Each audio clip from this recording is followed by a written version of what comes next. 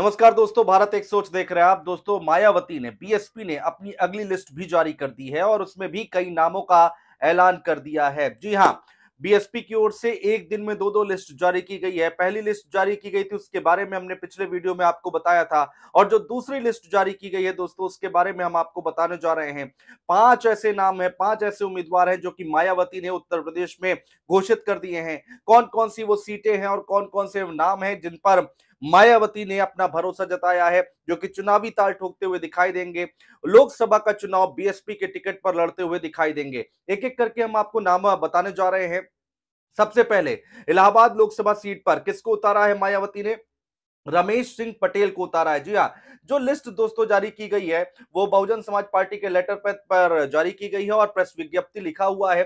BSP की बारहवीं सूची, ये लिखा हुआ है और लिखा हुआ है विषय, बहुजन समाज पार्टी उत्तर प्रदेश में लोकसभा के उम्मीदवार तय कर दिए गए हैं, जो कि इस प्रकार है। वो लिस्ट मैं आपको पढ़ के बताने जा रहा हूँ। उस लिस्ट में किसके किसके नाम है? पहला नाम इलाहाबाद लोकसभा क्षेत्र से उतारा गया है रमेश सिंह पटेल को। जी हाँ रमेश सिंह पटेल को यहाँ पर इलाहाबाद सीट से उतार दिया है मायावती ने।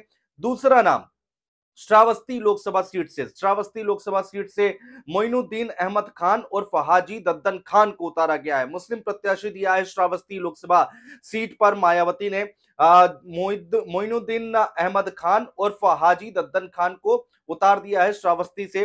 बीएसपी ने मायावती ने। तीसरा नाम कौन सा आता है दोस्तों? भदोही लोकसभा सीट। भदोही लोकसभा सीट से हरिशंकर सिंह उर्फ़ दादा चौहान को चुनावी मैदान में उतारा है। मायावती ने बीएसपी की तरफ़ से टिकट दिया गया है। हरिशंकर सिंह उर्फ़ दादा चौहान को टिकट दिया है और आ, अगला नाम चौथा नाम है वाराणसी। यहाँ से प्रधानमंत्री नरेंद्र मोदी चुनाव लड़ रहे हैं और प्रधानमंत्री नरेंद्र मोदी के सामने बीएसपी सुप्रीमो मायावती ने अतहर जमाल लारी को उतारा है। जी हाँ अतहर जमाल लारी जो कि अब प्रधानमंत्री नरेंद्र मोदी के खिलाफ बीएसपी के टिकट पर चुनाव लड़ते हुए दिखाई देंगे। वाराणसी की सीट की हम बात कर रहे हैं। पांचवा और आखिरी नाम इस लिस्ट में दोस्तों बांसगांव से है। राम समुज डॉक्टर राम समुज को उतारा है। बांसगांव, जो कि एससी सीट है, यहाँ से राम समुज को उतारा है।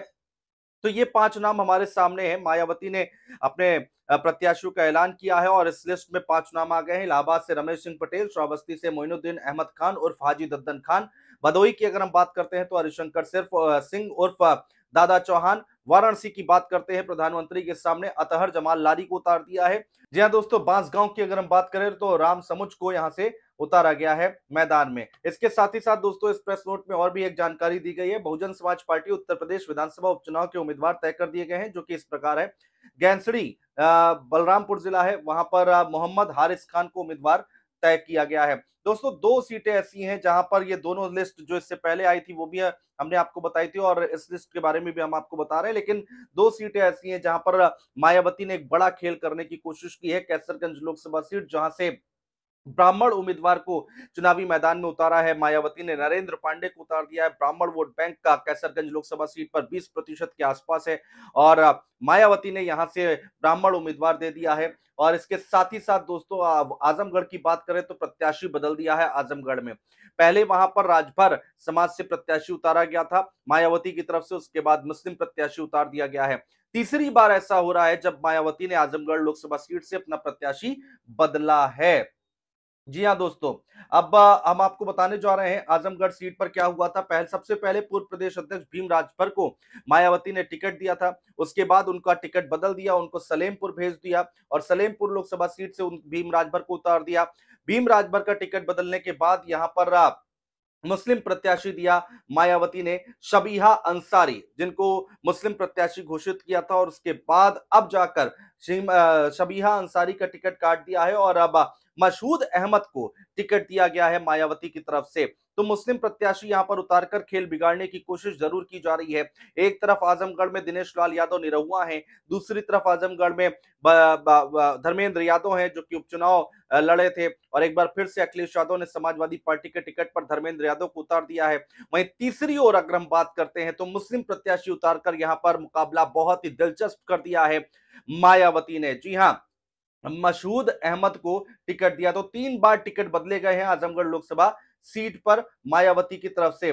फ़िलहाल ये लिस्ट हमारे सामने है, बारहवीं सूची हमारे सामने है, कितने जिताऊ प्रत्याशी हैं, कौन कितना दमदार है, इन सीटों पर इसका विश्लेषण, इसका आकलन आप भी ज़रूर कीजिएगा दोस्तों, हमें कमेंट बॉक्स में कमेंट करके ज़रूर बताइएगा। ये पाँच लोकसभा सीटें जो बारहवीं लिस्ट में सामने आए हैं, इलाहाबाद, श्रावस्ती, भदोही, वाराणसी, बांसगांव। यहाँ पर जो प्रत्याशी उतारे गए हैं, कितने दमदार, कितने जिताऊ प्रत्याशी हैं मायावती के कमेंट करके दोस्तों ज़रूर बताइएगा। बहुत शुक्रिया।